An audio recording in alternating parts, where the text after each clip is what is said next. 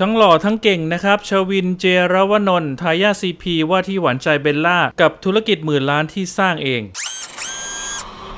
หลังเป็นข่าวฮือฮาหนักมากนะครับ เมื่อช่วงปลายสัปดาห์ที่ผ่านมาของนางเอกสาวสุดฮอตนะครับเบลล่าราณีที่มีภาพหลุดหวานมากๆนะครับกับหนุ่มหล่อร่วมเฟรมในทริปทำบุญและทริปเที่ยวทะเลนะครับซึ่งจะใช่หวานใจเบลล่าหรือไม่นะฮะก็ต้องรอเจ้าตัวมาตอบด้วยตัวเองนะครับแต่ตอนนี้นะฮะเรามาทำความรู้จักกับหนุ่มหล่อคนนี้ก่อนดีกว่านะครับบอกได้เลยว่าไม่ธรรมดา เพราะเป็นทายาทเครือ CP นะครับนั่นก็คือวินเชวินเจียรวนนท์ลูกชายของคุณขจรเจียรวนนท์กรรมการบริหารบริษัทเครือเจริญโภคภัณฑ์จำกัด ถึงแม้ว่าเขาจะเติบโตในอาณาจักร CP ธุรกิจระดับแสนล้านนะครับ แต่หนุ่มวินเขาออกมาสร้างธุรกิจด้วยตัวเอง และประสบความสำเร็จมากด้วย โดยหนุ่มวินนะฮะก่อตั้งบริษัทของตัวเองเมื่อปี 2011 นะครับด้วยการเข้าไปร่วมทุนบริษัทด้านกีฬาโดยในเวลาเพียง 2 ปีนะฮะเขาก็สามารถพาบริษัทเข้าตลาดหุ้นได้สำเร็จและทำกำไรได้อย่างงดงามเลยทีเดียวนะครับ จากนั้นปี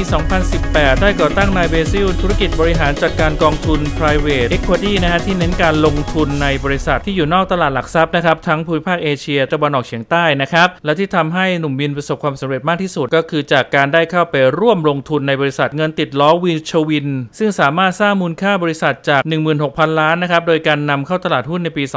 2021 สร้างมูลค่าได้ถึง